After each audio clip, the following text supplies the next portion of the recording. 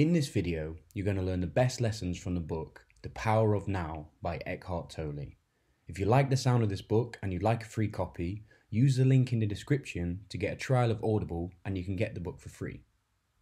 Eckhart Tolle's The Power of Now offers a profound exploration of mindfulness and presence, emphasizing that true peace and fulfillment comes from the present moment, rather than dwelling on the past or worrying about the future. The book argues that many of the issues humans face anxiety, stress, regret are products of being disconnected from the present. Tolle explains that shifting focus from a constantly thinking mind to the essence of being, we can awaken to be more meaningful and have more liberated lives. Key takeaways and lessons. Number one, the illusion of time. One of the central messages in The Power of Now is that time is an illusion. Tolle argues that most of our suffering arises because we spend too much time either in the past, regret and resentment, or in the future, anxiety and worry. The book emphasizes and encourages us to see time as a mere mental construct, which helps us organize events but should not dominate our consciousness. Real peace, Tolle explains, can only be found by embracing the now, because it is only in that moment that we truly exist. Lesson 2 The Ego versus the True Self. Tolle introduces the idea of the ego, a constructed sense of self built on memory, beliefs, and stories we tell ourselves. The ego drives our incessant mental chatter and craves control, validation, and identity through external markers like status, possessions, and even past traumas. In contrast, the true self exists beyond these mental constructs and can only be found by silencing the mind and observing thoughts without attachment. This state of awareness helps us connect with a deeper self that exists beyond labels, thoughts, or stories. Lesson 3 Embracing the Pain Body. Tolle introduces the concept of the pain body a sort of emotional entity within us that stores past pain and suffering. This pain body feeds on negative emotions, seeks out situations to sustain its existence, often causing destructive behaviors or patterns in our lives. By recognizing when our pain body is triggered, we can prevent ourselves from being consumed by it. Tolle teaches that simply observing the pain body and accepting it without identifying with it is the key to dissolving its power over us. Lesson 4 Mindfulness through Presence. The concept of presence is central to the power of now. Tolle explains that presence is the ability to inhabit the present moment fully, which is often overshadowed by mental distractions. We often live in constant stream of thoughts about past or future, keeping us from truly experience life as it unfolds.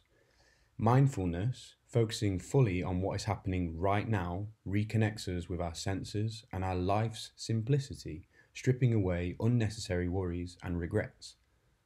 Lesson 5 Freedom from the Thinking Mind.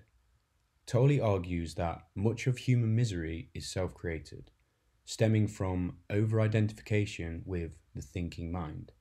He suggests that thoughts themselves aren't the problem, it's our attachment to them and our belief that they define us.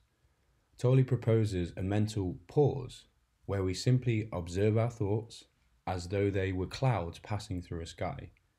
This practice of detachment helps us see that we are not our thoughts and that we can observe them without getting caught up in them. Lesson 6 Acceptance Saying yes to the moment. Another critical lesson from the power of now is the importance of acceptance. Tolle urges readers to accept each moment exactly as it is. Resistance to reality is a source of inner conflict. When we resist the present, we create unnecessary stress and frustration because we are fighting something we can't change. By embracing each moment, even the difficult ones, we find a calm strength that allows us to act more clearly and respond rather than react to situations. Lesson 7 the joy of being versus doing. Tolle talks about the idea of being as a state of awareness that goes beyond our actions and achievements. We are often consumed by a need to do things, achieve goals, and chase that next big thing, losing ourselves in the process.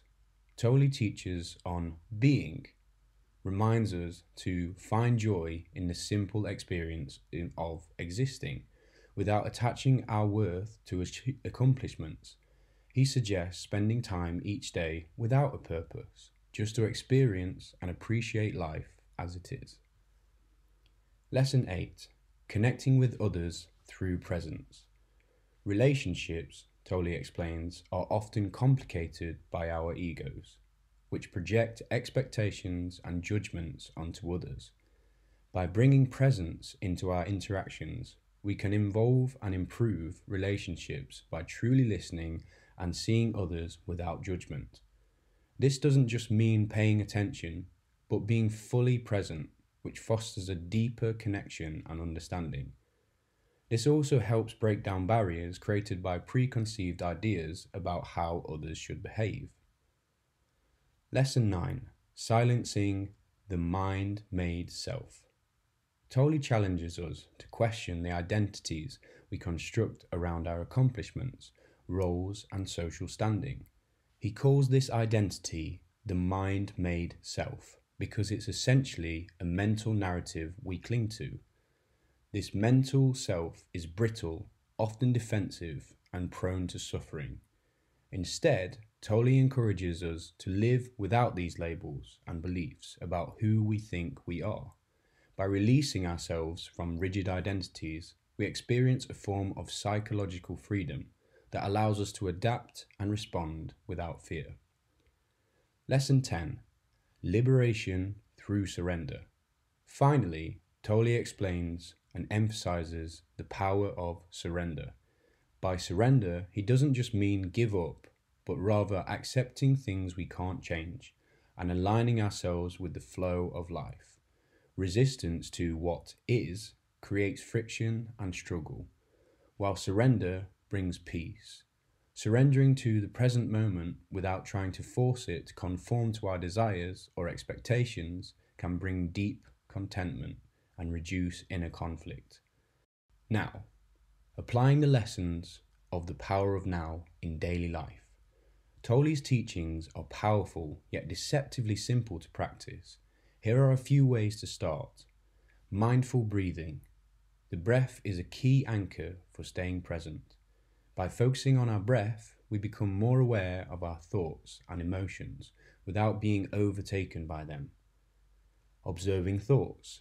Each day, take a few moments to sit quietly and observe your thoughts.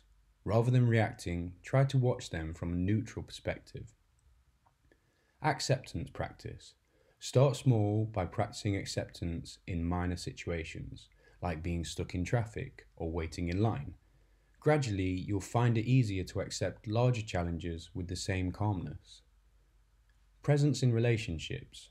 Practice active listening with family, friends, and colleagues, focusing entirely on them without judgment or distraction. In conclusion, in the power of now, Eckhart Tolle invites readers to step away from the chaos of constantly being in the active mind and connect with the tranquility of the present moment. The book's message is both timeless and relevant. Inner peace doesn't come from external circumstances, but from a state of presence and acceptance. By letting go of attachments to our thoughts and identities, we can experience a deeper awareness and joy. Each chapter of Tolle's work is a gentle reminder that life's beauty unfolds only when we are truly and fully here in the now. If you like the sound of this book and you'd like a copy for free, use the link in the description of this video to get a trial of Audible and you get the book for free. I hope you enjoyed this summary and thanks for watching. Have a great day.